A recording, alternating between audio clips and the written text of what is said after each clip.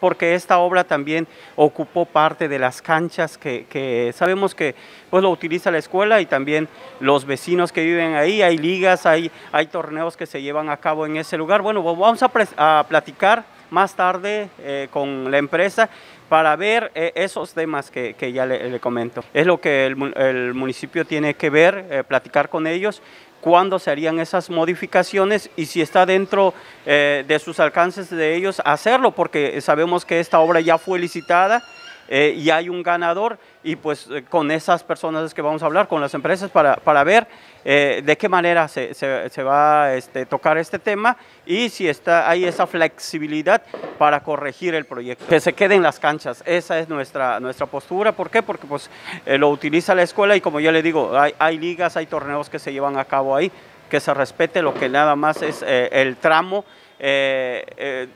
dejando ese espacio, ¿no? Obviamente. Al principio se, comentó que íbamos a esperar que llegara el proyecto para ver cómo estaba considerado eh, el proyecto y en base a eso platicar. Hoy día que ya sabemos cómo, cómo viene el proyecto, pues tenemos que sentarnos con, con las personas, sobre todo con las personas que tienen sus casetas eh, elaboradas con concreto, con material